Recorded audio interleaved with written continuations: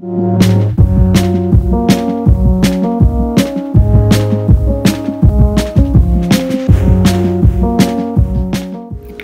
Viewers आज मैं आप लोगों के लिए मैक्सिकन राइस की रेसिपी लेके आई हूँ। ये बहुत ही मज़ेदार बनते हैं और मैं इसे जो हूँ आज इंस्टेंट पॉट में बनाऊँगी। आप चाहें तो नॉर्मल तरीके से भी पतीले में बना सकते हैं। इसके लिए हमें एक कप मटर चाहिए फ्रोज़न एक कप हमें कैन कॉर्न चाहिए, स्वीट कॉर्न, और किडनी बीन्स, लाल लोबिया, वो भी कैन वाला एक कप चाहिए, टमाटर एक चाहिए, बड़ा, और गार्लिक एक टीस्पून चॉप चाहिए, हरी मिर्चें चाहिए, चार अदर चॉप, और हरा धनिया आधा कप चाहिए। आधा कप शिमला मिर्च चॉप करके चाहिए।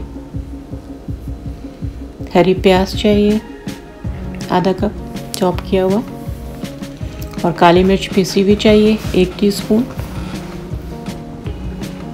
और गैनो चाहिए, एक टीस्पून। नमक चाहिए, एक टेबल स्पून ज़ीरा पाउडर चाहिए, एक टीस्पून। और क्रश रेड पेपर चाहिए वन टेबल स्पून नमक और मिर्च आप अपनी मर्ज़ी के मुताबिक डालें। वेनेगर चाहिए, दो टेबल स्पून और ऑयल चाहिए, तीन टेबल स्पून चलें, शुरू करते हैं। और डेफिनेटली राइस तो चाहिए, आधा किलो। पहले पानी में भिगो दें, आधे घंटे पहले। ये जो है हम सोटे का मोड ऑन करके, तीस। मिनट के लिए ऑन होता है ये। तो जितने मिनट भी आपको कुकिंग करनी है। तो अब ये मेरा पैन गर्म हो चुका है। इसमें मैंने जो है तीन टेबल स्पून ऑयल डाल दिया। फिर इसमें हम गार्लिक डालेंगे चॉप्ड उसको कुछ सेकंड सॉटे करेंगे। फिर प्याज डाल देंगे चॉप्ड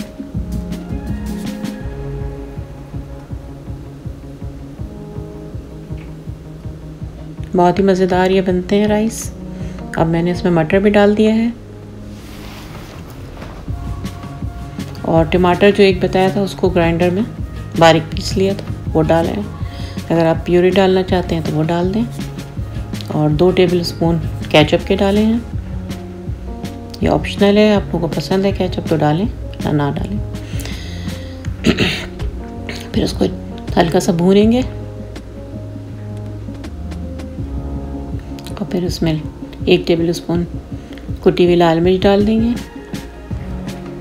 एक टीस्पून पिसा हुआ ज़ीरा और एक टीस्पून पिसी हुई काली मिर्च और एक टेबल स्पून नमक डालेंगे।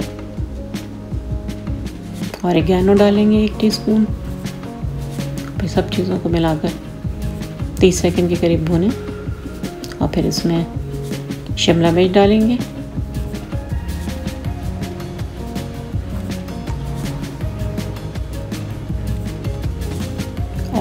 दो टेबल स्पून सिरका डालेंगे। बीन्स डाल देंगे एक कप। कॉर्न डाल देंगे। ये सब मैंने कैन के यूज़ किए हैं, ताकि आसानी से फटाफट बन जाए राइस। फिर आधा किलो चावल है तो दो कप हम इसमें पानी डालेंगे।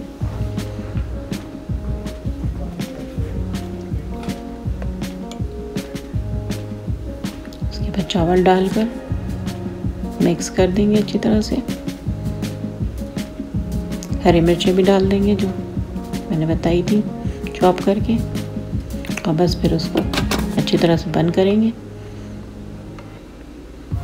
और ये चेक करेंगे कि वेंट खुला हुआ तो नहीं है, इसको बंद करें। और उसके बाद फिर क्लियर का बटन दबाकर ऑफ़ कर देंगे।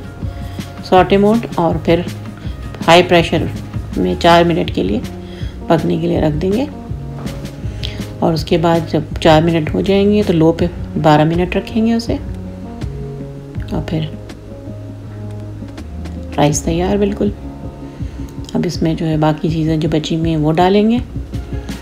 हरी प्याज, हरा धनिया। ये पहले इसलिए नहीं डाला था कि फिर वो काला हो जाता है। तो सर्व करने से पहले इसे बस मिक्स कर दें इसमें।